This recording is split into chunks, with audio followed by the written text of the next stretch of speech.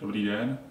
V tomto videu bych chtěl předvést, jak vytvořit nové uživatelské účty v systému Windows 10 a jak nastavit přístupová práva k jednotlivým složkám a souborům a jak nastavit jejich sdílení v místní síti. Eh, rozdíl mezi sdílením a zabezpečením těch složek spočívá v tom, jestli do nich chci přistupovat z jiného počítače v této síti anebo z toho stejného lokálního počítače. Nejprve bych ukázal, jak přidat uživatelský účet do systému Windows 10.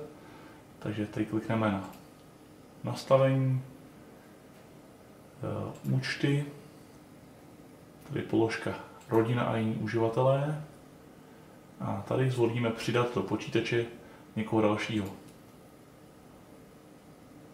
Budeme přidávat lokální účet, tedy ne účet Microsoft, takže tady zvolíme nemám přihlašovací údaje této osoby a tady dáme eh, přidat uživatele bez účtu Microsoft.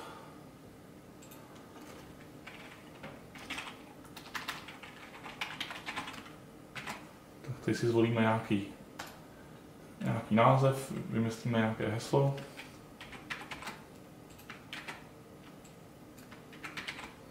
A bohužel musím vybrat i tyto bezpečnostní otázky. Takže tam něco dodáme.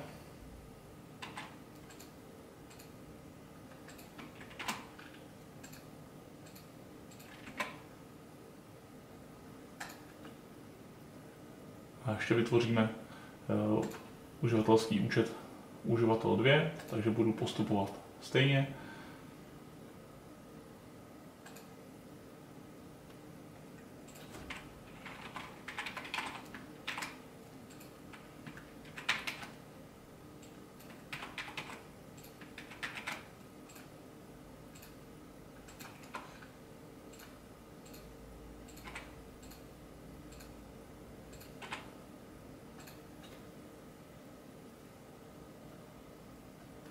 Tak a mám tady uh, dva mám tady dva nové účty, uživatel 1, uživatel 2 a budu ty účty teda dělat jako uživatelské, to znamená, že nebudou, uh, nebudou to účty správcovské, takže nebude moct tento uživatel měnit nějaké zásadní nastavení systému a tak dále.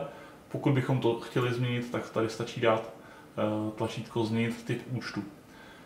Tak a teď teda řekněme, že ty dva uživatelé by si vzájemně neměli vidět do svých složek, měli by mít každý svůj prostor a když pominu to, že ve Windows automaticky každý e, nějaké, nějaké svoje složky soukromé má, e, například dokumenty, stažené soubory a další, kam se dostane pouze, pouze e, správce anebo ten, nebo ten daný uživatel, tak řekněme tedy, že budeme chtít vytvořit nějakou složku, do které se dostane pouze uživatel 1 a správce počítače. Takže pro jednoduchost to udělám hned tady eh, v kořenovém adresáři, nebo já tady udělám složku pokusy, ať mi tady to potom ne, nepřekáží. Eh, takže vytvoříme novou složku, eh, nazvu ji teda uživatel 1. Ještě tedy nejprve ukážu, že tuto chvíli se do, do této složky dostane, eh, dostane každý uživatel tohoto počítače. Takže když si tady přepnu účet, dám tady přepnout na uživatel 1. Tak.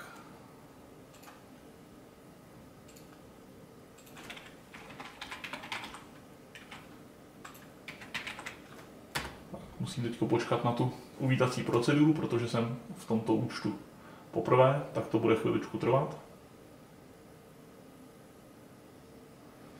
Tady nás Windows pozdraví a řekne nám, že pro nás všechno připravuje. A že to nebude hned tak hotové.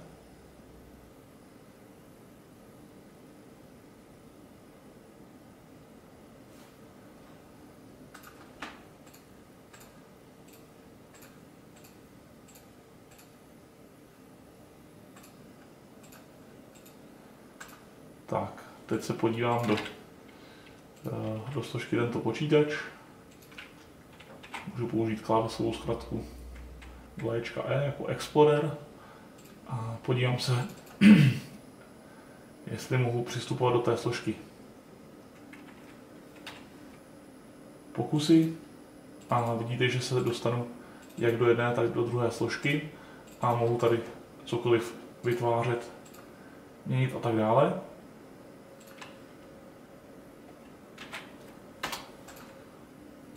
Tak a teď, kdybychom to tady chtěli, chtěli přenastavit a chtěli bychom, aby se teda ten uživatel dostal pouze do, do té svojí složky a nikoli do té druhé, eh, tak tady dáme, tak se musím přepnout zpátky do toho administrátorského účtu. Chceme tedy teď, aby se do naší složky eh, pokusné eh, tady uživatel 1, tak chceme, aby se do ní nedostal uživatel 2.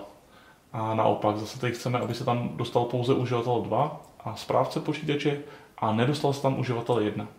Tak jedna z možností, jak toho dosáhnout, je nastavit eh, v zabezpečení a odepřít k této složce přístup tomu uživateli 2. Takže dáme pravé tlačítko vlastnosti, zabezpečení a tady dáme upravit. Musíme přidat toho uživatele sem do té zprávy, takže přidáme tady uživatel 2. OK, klikneme na něj a dáme tady odepřít všechno.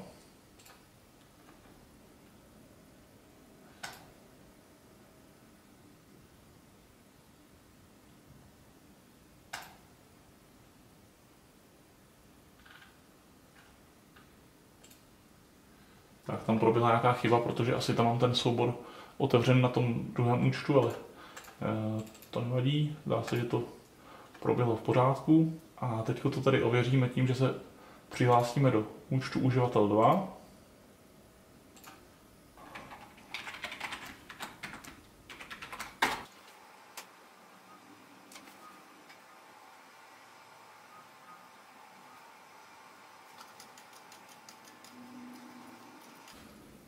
Tak, podíváme se uh, do té složky. Takže tady vezmeme do složky pokusy a tady dáme složku uživatel 1 a vidíte, že mě do té složky nepustí. Uh, zatímco, když se chci podívat do té složky uživatel 2, tak to funguje. Uh, když teď se tam pokusím přihlásit z účtu uživatel 1,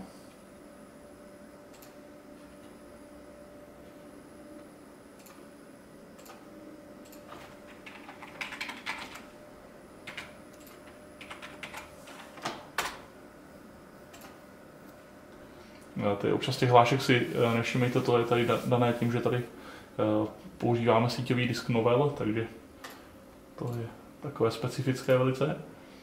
A teď tedy, když se podívám do, do té složky user 1 tady odtud, tak vidím, že tady mě to tam do té složky pustí. Takže takhle se dá nastavit nebo zamezit přístupu jiným uživatelům do Eh, do složek v jiném uživatelském účtu. Eh, hodí se to, pokud jeden počítač používá více, více osob. Eh, další věc, další věcí je sdílení v místní síti, to znamená, že pokud máme doma připojené k jednomu switchi nebo ve firmě k několika switchům samozřejmě počítače, tak mohu mezi nimi sdílet soubory a to se dá dělat takto. Pardon. Takže tady si vytvořím nějaký pokusný dokument třeba. A budu chtít tu složku sdílet v místní síti, tak dám pravé tlačítko, vlastnosti, sdílení. A tady kliknu na sdílení. A teď vidíte, že eh, musím vybrat osobu, která eh, nebo musím vybrat uživatelský účet, přes který se k té složce dostanu. Eh, tak eh, často je vidět, že tam někdo dává tohoto oprávnění everyone, což znamená, že, že, že nás to pustí z jakéhokoliv účtu z jiného počítače, a nebo můžu, eh, nebo můžu chtít, abych, aby ten člověk vlastně znal ten uživatelský účet uživatel třeba jedna a znal to jeho heslo, takže tady, tady tedy stačí dát uživatel jedna a dám sdílet.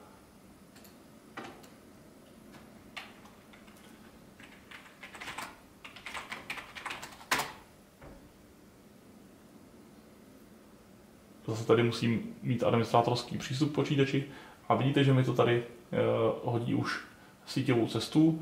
Eh, první způsob je, že tu cestu otevřu tady přímo z tohoto toho počítače, když tam dám dvě zpětná lomítka a napíšu tam, napíšu tam tu cestu, kterou mi to před chvilkou napsalo.